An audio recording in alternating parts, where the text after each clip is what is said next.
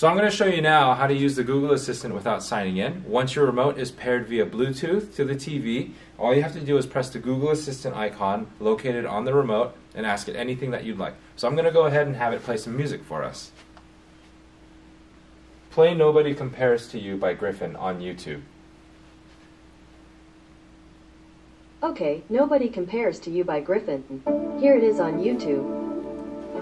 So you can see how quick it is and how easy it is and how fun Skyworth makes using the Google Assistant. Thank you guys so much for watching.